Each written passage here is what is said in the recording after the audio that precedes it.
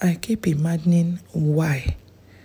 The reason people do not respect other people's boundaries and privacy. Like, what will prompt the um, unveiling, the, the revealing of someone else's uh, document? Why? Is it your own? People should learn to respect other people's boundaries and privacy. It is important. Former President George Weah, his assets documents leaked.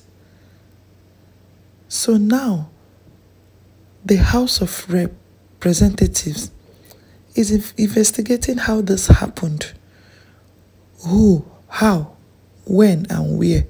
How exactly did this information come to the public? Let's listen to this. Liberia's House of Representatives is investigating how former President George Weah's asset declaration documents were leaked to the public.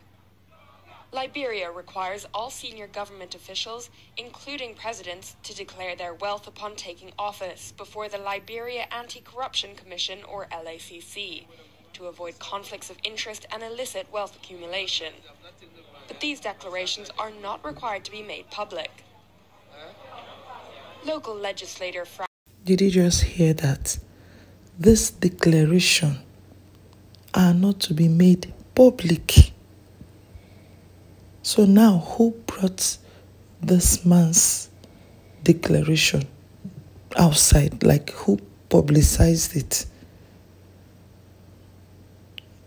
Investigation is on already. His successor, President Joseph Boakai, who won the November election, declared his assets in February, vowing to fight corruption. Investigation is on already. Let's see how it goes. I I I just hope they get to the root of this matter.